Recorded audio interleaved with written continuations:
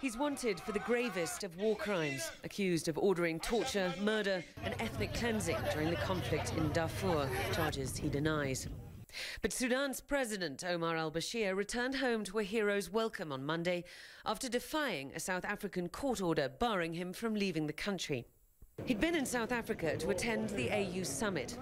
Whilst African leaders hobnobbed in Johannesburg, a court in Pretoria was deliberating whether or not South Africa, as a signatory to the Rome Statute, was constitutionally obliged to hand Mr. Bashir over to international justice.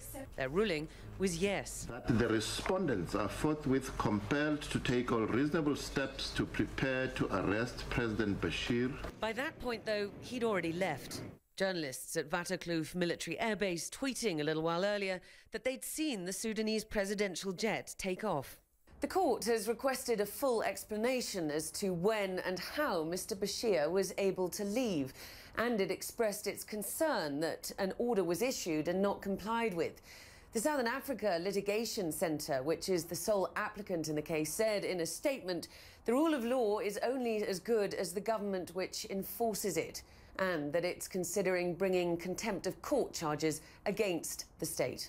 President Bashir was re-elected back in April, despite being the most wanted war crimes fugitive on the International Criminal Court's list. But without its own police force, the ICC relies on the cooperation of its signatories, and African leaders aren't playing ball. At this year's summit, they called the court dysfunctional and without their backing, the court's ability to pursue international justice is clearly compromised. Diana Magnay, CNN, Johannesburg.